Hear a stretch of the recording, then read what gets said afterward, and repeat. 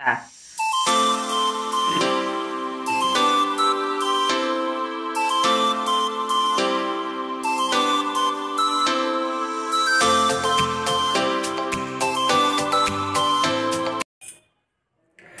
Afternoon friend আমি অপর্ণা অপর্ণা অলটাইজ ব্লগেতে তোমাদের সবাইকে অনেক অনেক স্বাগত। আমার পুরনো বন্ধু, নতুন বন্ধু, যে যেখান থেকে ব্লগ দেখছ ব্লগ দেখার জন্য অসংখ্য অসংখ্য ধন্যবাদ। বড়দিকে প্রণাম জানাই, ছোটোদিকে ভালোবাসা জানাই। ভালোবাসা জানিয়ে আমি ব্লগ শুরু করছি আজ আফটারনুন থেকেই। তো, তোমাদের কাছে আমার একটাই রিকোয়েস্ট দেখার আগে একটা লাইক দিয়ে দেখা শুরু করবে, আর স্কিপ না করে পুরো ভিডিওটা দেখতে থাকবে তোমাদেরকে ভালো লাগবে, আশা করছি। আর যারা আমার চ্যানেলে নতুন নতুন বন্ধু এসেছ, তারা চ্যানেলটাকে সাবস্ক্রাইব করে পাশে থাকবে বেল বাটনটা অন করে দেবে তাকে নোটিফিকেশান তোমাদের কাছে পৌঁছে যাবে, দেখবার সুবিধে হবে।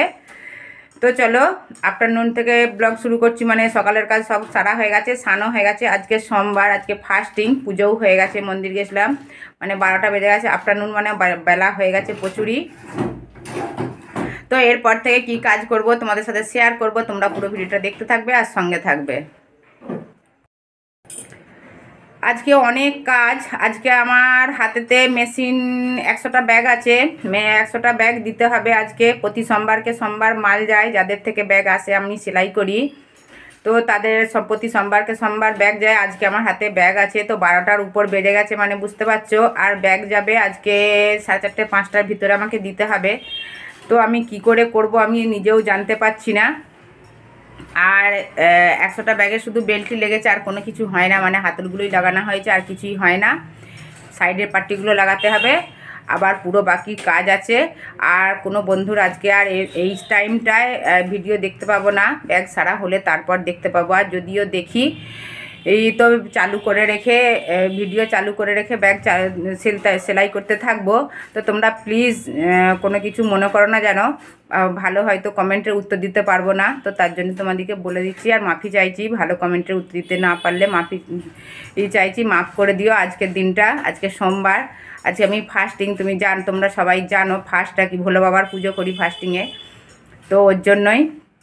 সারাদিন উপোস না খাওয়ায়, উপরন্ত সারাদিন কাজ করতে হবে, বা সেলাইয়েরও কাজ আছে।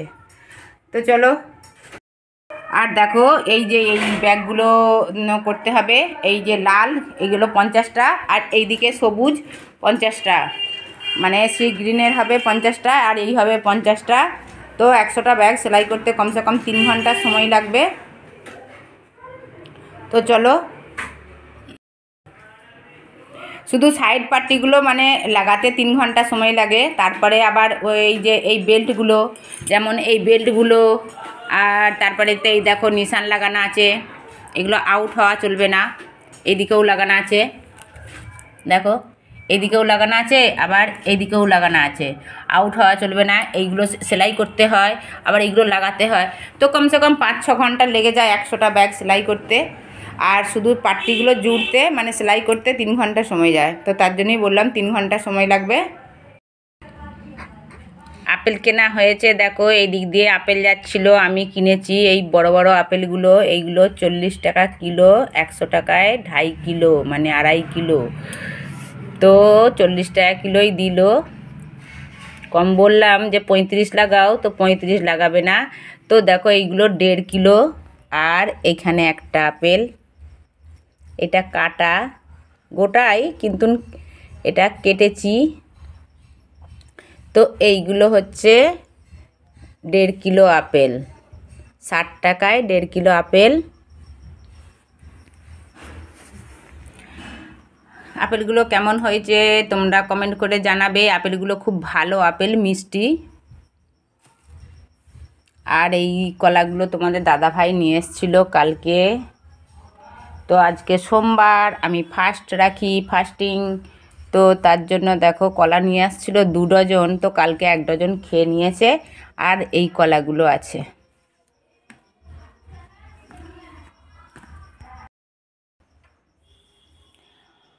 কলা আর আপেল ডেকে দিই, এইগুলো।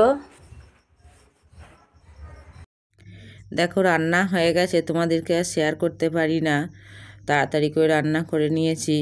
দেখো বাঁধাকপির সবজি ভাত আর বেগুন সিদ্ধ। বেগুনটাকে মেখেছি এইভাবে আর আলু হাতে দিয়েছি। পেঁয়াজ দিয়ে কাঁচা লঙ্কা দিয়ে আলু উম, বেগুনটাকে মেখেছি আর আলুটাকেও তেল লঙ্কা দিয়ে মেখেছি। আর দুধ আছে এই ছিল ভাতের মেনু। তাড়াতাড়ি করে করে ফেলেছি তোমাদের সঙ্গে আর শেয়ার করতে পারি না। হয়ে যাবার পর শেয়ার করছি। স্যালাড বানিয়েছি দেখো স্যালাডে কি আছে? আছে পেঁয়াজ আছে, কাঁচা লঙ্কা আছে, বাঁধাকপি আছে, গাজর আছে, টমেটম আছে, চানাচুর আছে, ছোলা আছে তেল আছে, আর চাট মশলা আছে, আর নুন আছে। তো একদম চটপটি, খুব সুন্দর খেতে এইগুলো। ওরা খাবে। দেখতে কত সুন্দর লাগছে, আর আছে ধনেপাতা।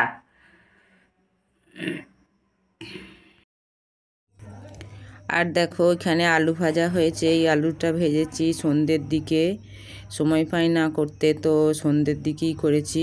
আর একটু পকোড়া করেছি। এটা কুটুকি আটার পকোড়া। আলুটা ভেজেছি শুধু কাঁচা লঙ্কা দিয়ে আর লবণ দিয়ে, আর একটু ধনে পাতা দিয়েছি, আর কিছু দিই না। আর এই পকোড়াগুলোও তাই, লবণ আর একটু কাঁচা লঙ্কা। এছাড়া কিছু দেবো না, আজ তো আমার কিছু খেতে নেই। ধমধম করে বাজা বাজাচ্ছে, দেখো বাজা যাচ্ছে। আর নামকরণের জন্য ষষ্ঠী পুজো করাতে যাচ্ছে। পাশের ঘরে একটা ছেলে হয়েছে, ছোট ছেলে, তো আজকে তার নামকরণ তো ষষ্ঠী পুজো করাতে যাচ্ছে। আর বিয়ের ওড়না গায়ে দিয়ে যে রয়েছে লাল রঙের, ওইটাই হচ্ছে ছেলেটার মা। তো সামনে মন্দির আছে, তো মন্দিরেতে ষষ্ঠী পুজো করাতে যাচ্ছে। আর এইভাবেই ষষ্ঠী পুজো করাতে যায় আমাদের এইখানেতে আর এইখানের বইয়েরা এই রকম মাথায় ঢাকা দিয়ে থাকে, দেখো। যারা সব মাথায় ঢাকা দিয়ে আছে, এইরকম করে তারা সব বউ। আর যারা মাথা ঢাকা দিয়ে নেয় তারা মেয়ে। তো তার জন্যেই ঢাকা দেয় না। আর দেখো এইখানকার বইয়েরা এইভাবেই মাথায় ঢাকা দিয়ে থাকে সব সময়। বাড়িতেও থাকে। তো সামনে মন্দির আছে, তো মন্দিরটাতেই ষষ্ঠী পুজো করাতে যাচ্ছে। তো এই দিক দিয়ে যাচ্ছিল আমার ঘরের পাশ দিয়েই, দরজা গোড়ার পাশ দিয়েই। তো আমি দরজা থেকে একটুখানি ভিডিও তোমাদেরকে দেখাবো বলে করেছিলাম। তো আমি এটা পরে ভয়েস দিচ্ছি ভিডিওটা কেমন হয়েছে, জানাবে তোমরা। ভিডিওটা এখানেই শেষ করছি ফ্রেন্ড আমার ভিডিও ভালো লাগলে লাইক শেয়ার কমেন্ট আর সাবস্ক্রাইব করবে। চ্যানেলটাকে পাশে বেল বাটনটা প্রেস করে দেবে অল নোটিফিকেশন পৌঁছে যাবে। তোমরা সবাই ভালো থাকবে, সুস্থ থাকবে, সাবধানে থাকবে। ফের দেখা হবে নেক্সট একটা ব্লগের সঙ্গে। ততক্ষণকে নিয়ে টাটা বাই বাই সবাইকে গুড নাইট মুখ ধুয়ে চলে এসেছি, মুখটা পোঁচা হয় না, জল প্রচুর। ঠান্ডা লাগছে, অনেকটা রাত্রি হয়ে গেছে।